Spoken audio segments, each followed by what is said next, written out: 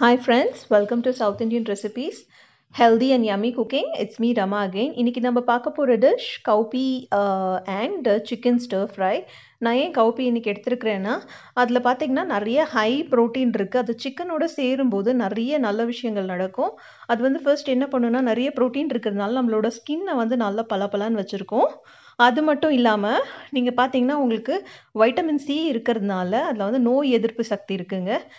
அப்புறம் வந்துட்டு சுகர் பேஷண்ட்டுக்கு இது வந்து ரொம்பவே ஹெல்ப்ஃபுல்லாக இருக்கும். இந்த கவுபீஸ் வந்து அவங்க ரெகுலராக எடுக்கிறதுனால அவங்களோட இன்சுலின் லெவல் வந்து இது கண்ட்ரோலாக வச்சுருக்கும். அண்ட் நாட் ஒன்லி தேட் இப்போதைக்கு இருக்கிற கரண்ட் சுச்சுவேஷனில் பார்த்தீங்கன்னா ஒபெசிட்டின்றது வந்து ஒரு பெரிய பிரச்சனையாக இருக்குது இது வந்து உடல் எடையை குறைக்கிறதுக்கும் ரொம்பவே ஹெல்ப்ஃபுல்லாக இருக்கும். அப்புறம் இது வந்து சிக்கனோட சேரும்போது ஒரு நல்ல சுவையை கொடுக்குங்க. இங்கே பாருங்கள் நான் கிரேவியும் பண்ணியிருக்கேன் ஸ்டர் ஃப்ரையும் பண்ணியிருக்கேன். எப்படி பண்ணலான்னு பார்க்கலாம் வாங்க. தேவையான பொருட்கள் ஒரு கப் கவுபீஸ் தட்டைப்பயிறுன்னு சொல்லுவாங்க தமிழில். ரெண்டு ஆனியன் ஒரு தக்காளி கொஞ்சம் இஞ்சி பூண்டு மசாலா மீன்ஸ் இஞ்சி பூண்டு பேஸ்ட் அண்ட் பூண்டு அப்புறம் கால் kilo chicken antibiotic free chicken நல்ல சிக்கனாக பார்த்து எடுங்க. இப்போ நம்ம என்ன பண்ணணும்? ஒரு குக்கரில் இது எல்லாத்தையும் சேர்த்து ஒரே ஒரு விசில் விடணுங்க. இப்போ கொஞ்சம் சிக்கன் சேர்த்துக்கோங்க. சிக்கன் வந்து நான் மஞ்சள் போட்டு மேரினேட் பண்ணி வச்சுட்டேன். ஒரு ஹாஃப் அன் ஹவர் மஞ்சள் உப்பு போட்டு. இப்போ அந்த கவ் பீஸ் அதையும் சேர்த்துக்கோங்க. கொஞ்சமாக ஆனியன் கொஞ்சமாக டொமேட்டோ டொமேட்டோ சேர்த்துக்கிறோம்.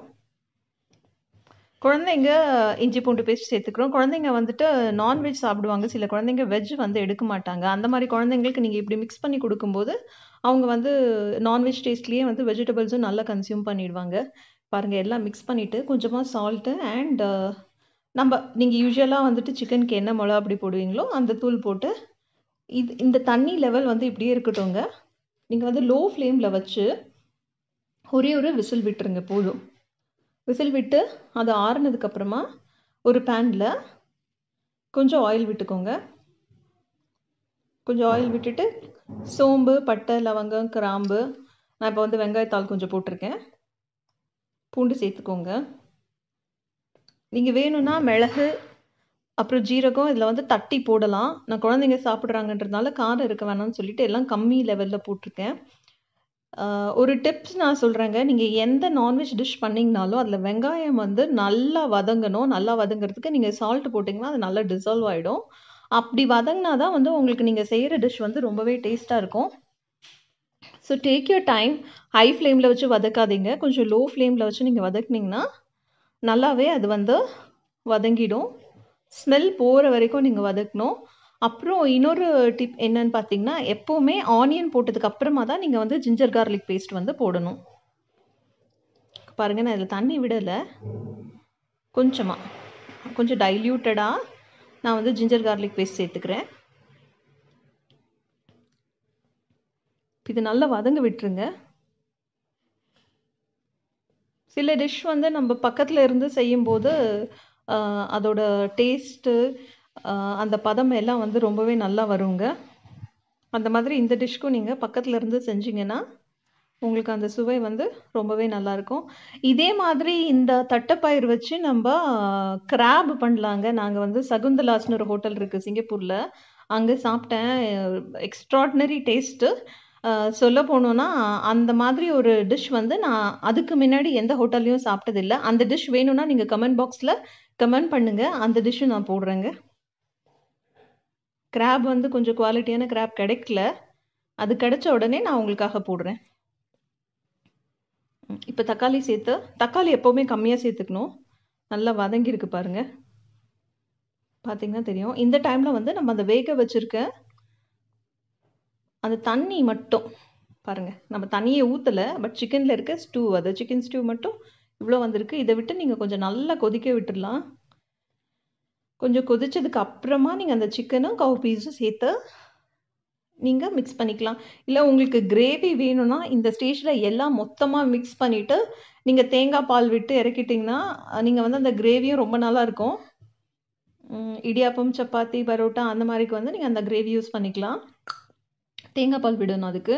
நான் இன்றைக்கி தோசைக்கு தான் பண்ணிகிட்ருக்கேன் தோசைக்கு பண்ணுறதுனால நான் வந்து கொஞ்சம் திக்காக இருக்கட்டும்னு சொல்லிட்டு இப்போ நான் வீட்டில் யூஸ் பண்ணுற நார்மல் குழம்பு மிளகாத்தூள் கொஞ்சம் மிக்ஸ் பண்ணிக்கிறேன். மிக்ஸ் பண்ணி கலந்து விட்டுட்டிங்கன்னா கலந்து நீங்கள் க்ளோஸ் பண்ணி வைக்கும்போது இது நல்லா சுண்டி திக்காக வரும். இது ஹாஃப் நம்ம போட்டிருக்க அந்த சிக்கன் ஸ்டூ வந்து ஹாஃப் குவான்டிட்டி ஆனதுக்கு அப்புறமா நீங்கள் வந்து பேலன்ஸ் இருக்க சிக்கனும் அந்த கவு பீஸும் நீங்கள் மிக்ஸ் பண்ணும்போது உங்களுக்கு கரெக்டான பதத்தில் இருக்கும். ஓவர் குக் ஆகாதுங்க. இப்போ பாருங்கள் இப்போ ஹாஃப் ஆயிடுச்சு. இந்த ஸ்டேஜில் வந்து நான் இதை வந்து சேர்த்துக்கிறேன். இந்த ஸ்டேஜில் சேர்க்கும்போது நல்லாவே குக் ஆகிடும் பாருங்கள் நார்மலாக தட்டைப்பயிர் பொரியல்னு பண்ணி கொடுத்தா சில குழந்தைங்க சாப்பிடுவாங்க சில குழந்தைங்க சாப்பிட மாட்டாங்க. இதில் வந்து இது நல்லா மெஸ்மரைஸ் ஆகிருக்கும் இப்போ க்ளோஸ் பண்ணி வச்சிடலாம். சிம்மில் வச்சுக்கோங்க. சிம்மில் வச்சு இதை கொஞ்சம் ஒரு ஃபைவ் டு டென் மினிட்ஸ் பாருங்கள் நல்லா தண்ணி வத்திருச்சு. ரொம்ப யம்மியான டிஷ் இது. நீங்கள் டேஸ்ட் பண்ணி பாருங்கள் ஏன்னா தட்டைப்பயிருக்குன்னு வந்து ஒரு சுவை இருக்குது நான்வெஜ் சாப்பிடாதவங்க வெறும் வெஜிடேரியன் வந்து இதை மட்டும் நான்வெஜ் மாதிரியும் நீங்கள் சாப்பிட்டுக்கலாம். அதே சேம் ப்ரொசீஜரில் கொஞ்சமாக தண்ணி வச்சு வேக வச்சு நீங்கள் இப்படி சமையல் பண்ணி சாப்பிட்டுக்கலாம். நல்ல சுவையை கொடுக்குங்க. சிக்கன்லேயும் ப்ரோட்டீன் இருக்குது தட்டைப்பயிர்லேயும் வந்துட்டு உங்களுக்கு ப்ரோட்டீன் இருக்கிறதுனால குழந்தைங்களுக்கு ரொம்பவே நல்ல விஷயம் இது. பெண்களுக்கு பார்த்தீங்கன்னா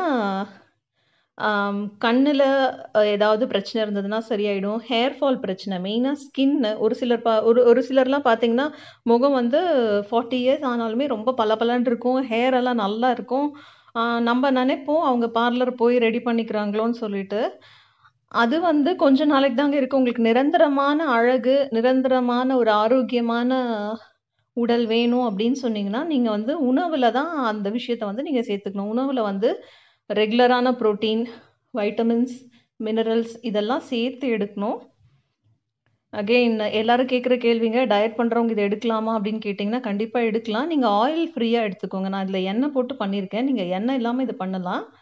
ஆயில் ஃப்ரீயாக எடுக்கும்போது உங்களுக்கு இந்த டிஷ் வந்து ஹெல்தியானது தாங்க வெயிட் லாஸ்க்கு ஹெல்ப் ஆகும்.